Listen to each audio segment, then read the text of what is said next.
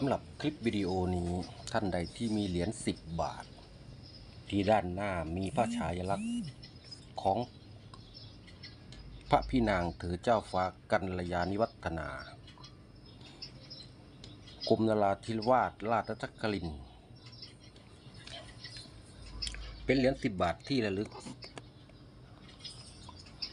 เหรียญ10 บาทที่ระลึกเป็นโลหะสองสี สีเงินและสีอลูมิเนียมบอล หรือที่เราเรียกสีทองเหลือง เหรียญนี้มีความโตของเหรียญ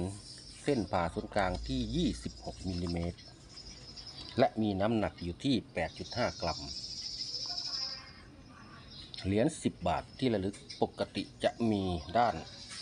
หัวและด้านก้อยชี้ไปทางทิศเดียวกัน หรือที่เรียกเหรียญพระเศียรตรง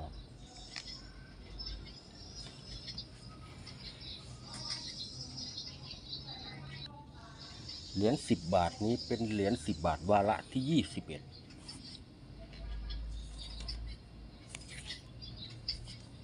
ฉลองพระชนมมายุครบแปดสิบพรรษา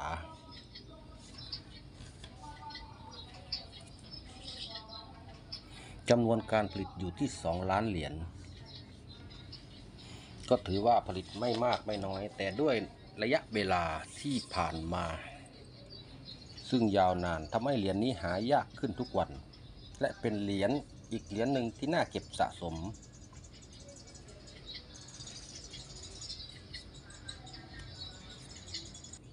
สำหรับท่านใดที่มีเหรียญเก็บไว้เยอะๆแล้วอยากจะขาย ก็สามารถติดต่อพูดคุย ใน ID Line ใต้ลิงก์ของคลิปวิดีโอนี้